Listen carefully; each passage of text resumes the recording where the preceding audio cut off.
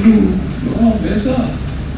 Sampai menuntut kita pergi ke Cambridge University ini sebelum perang ya, boleh mendapat first class honors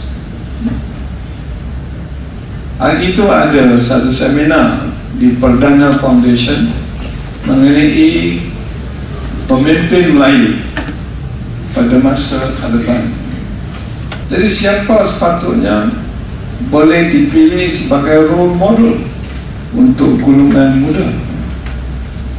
Tak ada dia apa sudah jadi pada negara?